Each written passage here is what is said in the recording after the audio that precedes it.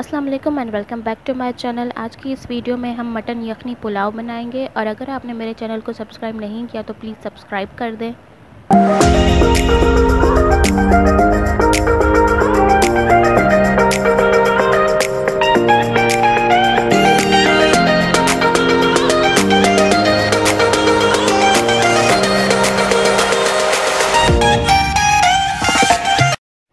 सबसे पहले एक देगची में डेढ़ टेबल स्पून ऑयल डालेंगे।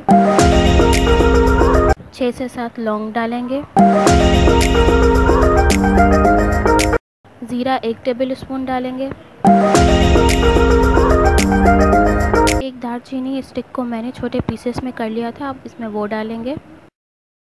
तीन छोटी इलायची डालेंगे और दो बड़ी इलायची।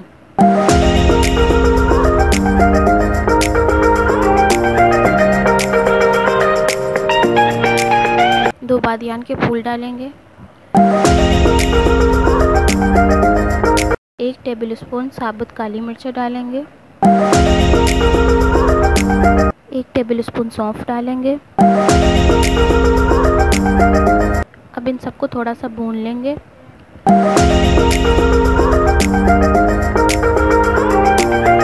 अब इसमें लहसुन अदरक का पेस्ट डालेंगे एक टेबल स्पून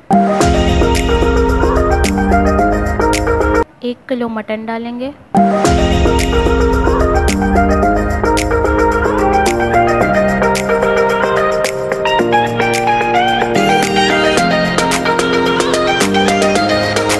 नमक डालेंगे हंसपे जायका। एक कटी हुई प्याज डालेंगे।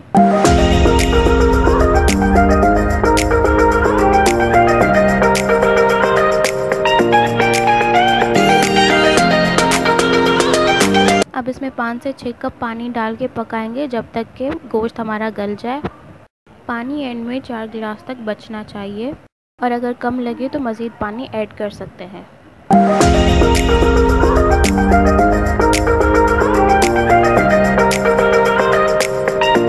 गोश्त गल गया है और अब गोश्त को अलहदा करके पानी को छान लेंगे।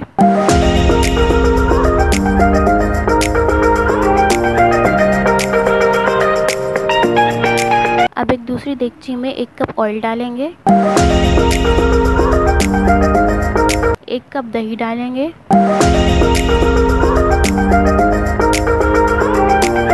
एक से दो मिनट तक इसको पकाएँगे।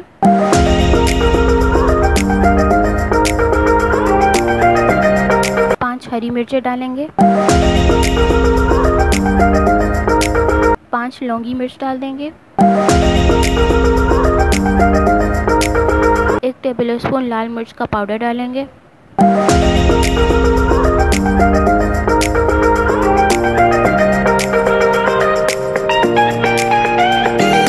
नमक डालेंगे हंसपे जायका। एक टेबल स्पून ज़ीरा डालेंगे। हाफ़ टेबल स्पून साबित काली मिर्चें। अब इसमें गोश्त डालेंगे।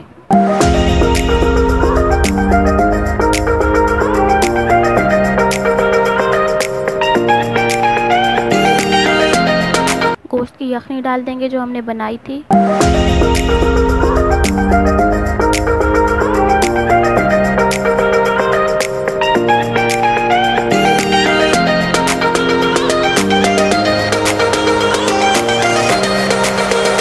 अब इसमें आधा किलो चावल डालेंगे। चावलों को मैंने अच्छे से धोकर 15 से 20 मिनट तक भिगो लिया था।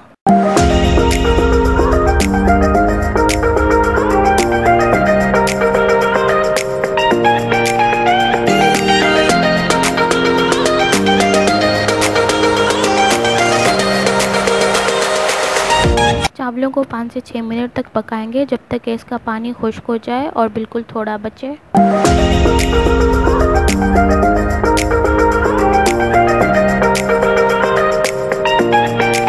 और अब हम चावलों को 15 से 20 मिनट तक दम पे लगा देंगे।